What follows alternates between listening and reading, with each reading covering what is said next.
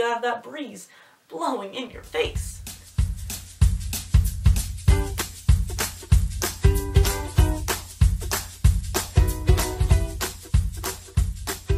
Hi guys, my name is Ashley Noel, and this is An Original.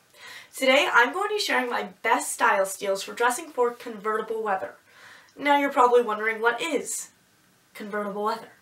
But if you live in Southern California, chances are you're about to start staring off into the distance, nodding and smiling ever so slightly. Because you know exactly what convertible weather is. Convertible weather is when it changes from cold to hot to cold very rapidly, all within a span of 24 hours. I just made this term up because we experience this a lot. It takes after a convertible car because you see in the winter, you just keep the top on, you turn on the heat, and you're very comfortable. But in the summer, you can simply take the top off and you're very comfortable. A convertible car is the all-season car, minus maybe the snow or sweltering, sweltering heat. But you get the point. The key to surviving convertible weather is to be like a convertible. But don't just go around taking your top off, especially not in public. I mean, you could, but you shouldn't. You, you definitely shouldn't. Probably not. But anyways, here are my top four style steals for dressing for convertible weather. Number one, long sleeves are your best friend because they keep your arms entirely warm and your arms and your legs are the two most important parts to keep warm because those are ultimately going to determine how warm the rest of you is. So by wearing long sleeve you're already ensuring that you are ready to brave that cold cold winter morning. However, when you get to the afternoon and you start rolling up those sleeves or simply sliding them up, your arms are free to breathe because while the tops will be three-quartered and therefore a little warm, the bottom, which is a very important part because it includes the elbow, is going to be perfectly at ease. In addition, one of my favorite components of every outfit is a neck scarf. I'll probably do a whole episode just about those later. See, neck scarves are great because in the winter, morning, late night time, they keep your neck warm. Not overly heated, just comfortably warm. But the moment it starts getting too hot, all you have to do is remove it, throw it up into your hair, make it a cute hair bow, and suddenly your neck and your face are going to be incredibly cool because your hair is out of the way of both. I love a good neck scarf because they don't just have to be a neck scarf, they can also be a beautiful hairband. Number two, try summer layers. Now, for example, we have a long sleeve and a crop top. Separately, they're very different seasons, but when you put them together, they are the perfect mix for convertible weather. Because you see, that crop top is going to provide this tiny layer of extra warmth, which is going to really help you get through those bitter cold mornings. But the moment it starts becoming warmer and warmer until it's unbearably hot, it's not going to be so warm that you can't survive with it. So, it's perfect. And of course, once it does get hot, we follow the rule of long sleeves and we simply slide them up or roll them up and our arms are back to being perfectly happy.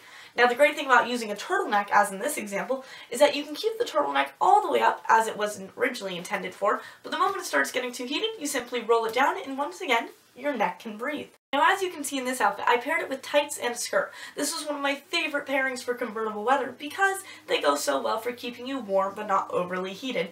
Tights are great because as long as you don't choose ones that are too sparing or too thick, they're going to keep your legs insulated and warm, but not super warm but not super cold, so pretty much it's a happy medium. As long as you can keep your head held high and your thoughts of coldness suppressed, then you are going to be just fine. I like tights because with just a little bit of rubbing together, friction, you'll be nice and heated. Now, a skirt, of course, goes great over this. You could also do it with shorts or any other sort of summer item that, once again, creates this perfect pairing for convertible weather.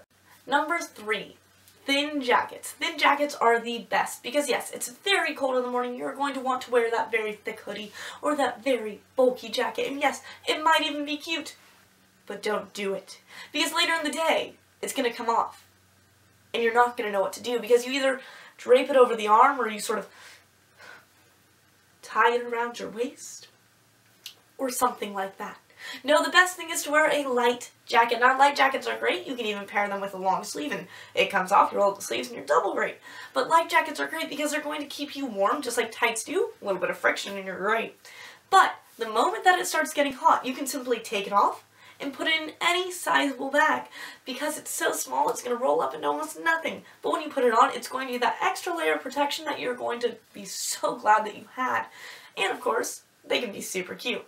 Now in this example, as you can see, we not only paired it with the light jacket, but we also added a button-down shirt, button-down shirts if you couldn't tell, or some of my favorite, because they're also great because you can button it all the way to the top, keep your neck warm, but start unbuttoning once it gets a little too hot. But as we said before, keep your top on. Number four, accessories. The most important and most simple way to dress for convertible weather. Gloves, scarves, socks. The holy trinity of convertible weather accessories. Gloves, you put them on, you take them off. They go on just like that. It depends on how hot, and your fingers and your hands are going to be very warm. And if you're someone like me, then oddly enough, your hands and your feet get really cold for no reason. Gloves are amazing because when they get really, really cold, they're going to be nice and warm. And once it gets too hot, you can take them off and pretend like it's not even a worry. Just like life jackets, they tuck into almost any sizable bag super easy and don't even have to be worried about until it goes back to being cold again. Scarves. Scarves are great because they can be worn in a million different ways, first of all. And also, they can be used to keep your neck warm or your hair up, depends on the size of the scarf. And once again, they can be tucked away super easily. Now, socks. Socks are a bit tricky because you can't just take them off in public when you're wearing shoes and whatnot. Don't make a show of it, but it's very easy to simply take off your shoe, slip it off, put it in a bag, and suddenly, ta your legs are nice and ready for that hot weather. I love pairing socks with a pair of tights because it's like a double layer of insulation, which is going to make you warmer than even a pair of jeans could, which is personally my favorite. And there you have it. Those are my best four style steals for dressing for convertible weather. If you choose to take any of these tips and apply them to your personal wardrobe, then be sure to post a picture and tag at An Original in it so I can go and see and let you know just how much I love it. Now, my name is Ashley Noel. This is An Original, and be sure to like and subscribe below if you want to see more future content reminding you of just how fabulous, flawless, and truly stylish you are.